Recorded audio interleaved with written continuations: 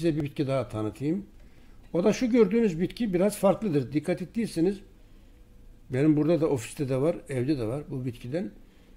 Buna Pelargonium gravilioles denir. Latincesi, Türkçesi büyük ıtır.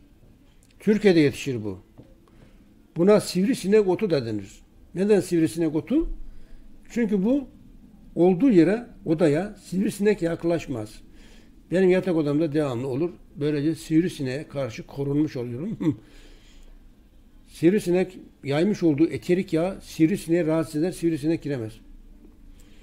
Sivrisinek demişken şimdi mesela Akdeniz'de veya Karadeniz'de veya Ege'de Marmara'da birçok meyve ağaçlarına haşerat sinekti, böcekti, efendim e, keneydi. Birçok haşere örümcek, kırmızı örümcek diyorlar. Musallat oluyor. Şimdi bununla ilgili araştırma yapmışlar. Mesela bitkinin mesela limon ağacı, elma, portakal ağacı veyahut da fındık ağacının altına lavanta ve biberiye ekseniz. Her yerde yetişir Türkiye'nin bu iki bitki. Oğul otu, nane de ekilebilir.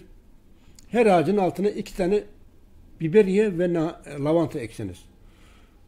O bitkiye, o ağaca hiçbir haşere yaklaşmaz. Her türlü haşereye karşı bu bitki, lavanta ve biberiye bitkiyi korur. E, Avrupa'da ne yapıyorlar? Böyle e, çeş, tek çeşit monokültür yok.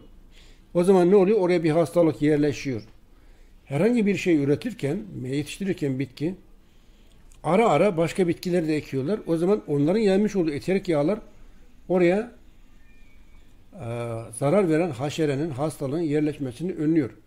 Bu nedenle portakal ağaçları, nar ağaçları veya limon, greyfurt, fındık ağaçları gibi meyve ağaçlarının altına lavanta ve biberiye ektiğinizde ağacınızı korumuş olursunuz her türlü haşereye karşı. Hiçbir kimyasal ilaç kullanmaya gerek yok o zaman. Bedava koruma.